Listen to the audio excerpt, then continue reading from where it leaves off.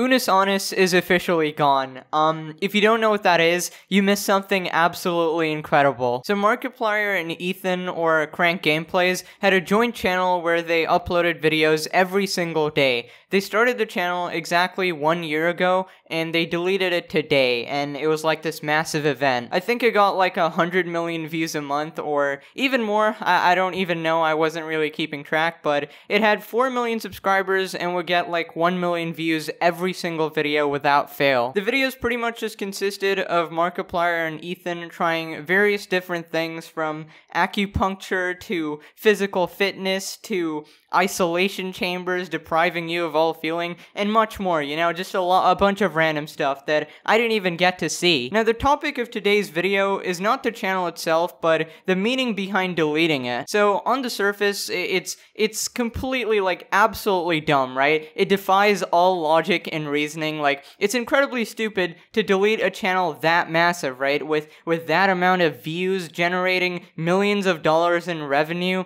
I cannot even fathom thinking of deleting something like that. In fact, none of us can. But the deletion of the channel actually had a message, right? This wasn't for like a, a publicity stunt or something. They were trying to convey a very meaningful message known as Memento Mori. Now, I'm not gonna lie, I haven't watched every single video on their channel for 365 days straight. In fact, I only watched a few videos here and there, and I don't know if they told everyone why they're doing this in the midst of those 365 videos, but I did pop into the final stream, which had about 1 million live viewers, by the way. Did, did I see that wrong? That, that was absolutely nuts, dude. But yeah, there was a little hashtag trending on Twitter called Memento Mori, uh, a reminder of death, right? And the fact that it's inevitable. So Markiplier tweeted out, it's time to say goodbye. He linked the stream, and they legit deleted the channel on stream at the exact time it reached a year. Hashtag Memento Mori. The day has come for fans of Unus Annus as creators Mark and Ethan delete the YouTube channel and its videos exactly one year after its inception. So let's talk a bit more about this message, right? On the surface, Memento Mori sounds like a very weird thing to say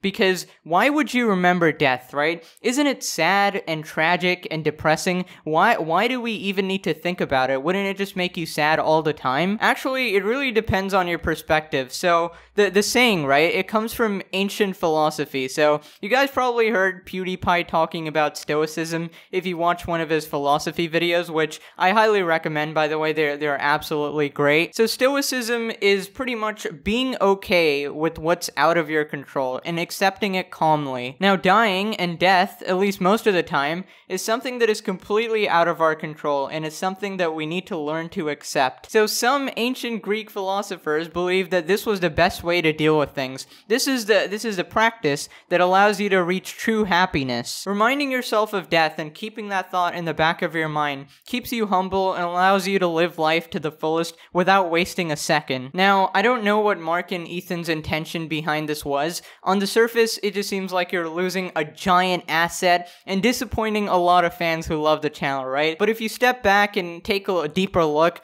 I feel like people fall in love with YouTube channels, right? It truly becomes one of your sources of happiness. I can say this 100% because I've fallen in love with many channels in my time, right? I absolutely love them. I still love a bunch today. They've helped me get through really tough times, and I can't thank them enough, right? And by deleting this massive channel that a million people relied on every single day, they kind of took a part of their lives away because if a million people are tuning into this one channel for 10 minutes every day or 20 minutes, however long the videos were, that was a big part of their life. And by completely eliminating it, they literally, I mean, not literally, uh, figuratively, reminded them of death. What you enjoy the most could be taken away from you at any moment, and that's a realization that we all have to live with. So you guys probably know Naruto, Naruto, whatever, however you say it. Um, the, the, there's a song in Naruto, right, which says, All that is near us we must know, could disappear any day, be careful. The main key to finding happiness lies nowhere else but in my soul. That's the English translation of the song, and I gotta say, it's pretty right. Like, life is fleeting, and so much is out of our control, and we truly do let this stuff get to us because It is incredibly hard, like, let's be real. To truly live 100% by this lifestyle of just calmly accepting things that are out of our control is absolutely impossible. But what the Stoics teach us is that we can try, right? In PewDiePie's video, he mentioned like um a, a, guy told another guy that his son died, and the father responded that I knew my son was immortal. That despite like losing his son, which is equivalent to losing your entire world, right? He understood that he was gonna die someday, right? And he could not control that at all. So he calmly accepted it and moved on. This is an absolutely extreme case and maybe a bit absurd, but it does provide clarity of this concept. Let us prepare our minds as if we'd come to the very end of life. Let us postpone nothing. Let us balance life's books each day. The one who puts their finishing touches on their life each day is never short of time. I think it's kind of a better way of saying live in the moment, you know, don't don't wait for tomorrow and all of that. At a Roman triumph, the majority of the public would have their eyes glued to the victorious general general at the front, one of the most coveted spots during Roman times. Only a few would notice the aide in the back, right behind the commander, whispering into his ear, Remember, thou art mortal. What a reminder to hear at the peak of glory and victory. It is reminders like this one that we all desperately need in our own lives. A thought or an idea that we'd rather ignore, do everything to avoid, and pretend is not true. Most often, our ego runs away from anything that reminds us of the reality that sits at odds with the comfortable narrative we have built for ourselves. Or we are simply petrified to look at life's facts as they are. And there is one simple fact that most of us are utterly scared to meditate, reflect on, and face head on. We are going to die. Everyone around us is going to die. I know it sounds a tad bit depressing, but I, I don't think we are looking at it the right way. Remembering death is not meant to be a sad thing. It's a reminder to live life. The simple fact that everybody around us, including ourselves, will be gone someday is not supposed to scare you.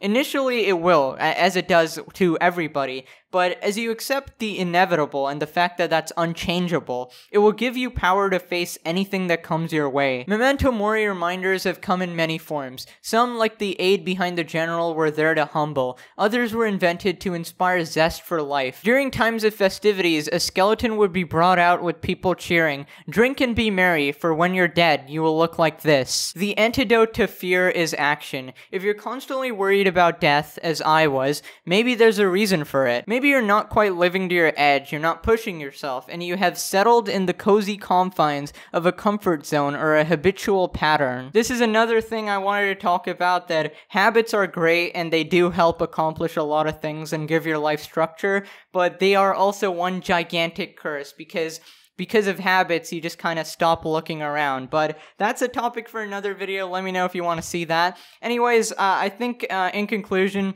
this was a historic moment in all of YouTube. A YouTuber, I mean, YouTubers actually deleted their channel in a year uh, from its inception. They created massive waves in that time that people may never replicate. And honestly, that was that was awesome. Thank you for the few videos I saw. They were very entertaining. Uh, I know the channel meant a lot to a lot of other people, but it's time to move on. Take this as a lifelong lesson to cherish what you have and remember death. Thank you all so much for watching. I, I can't believe I was talking about philosophy, but here we are. You can't believe you're listening to it. Anyways, um, smash like, subscribe, and I'll see you guys next time. Bye!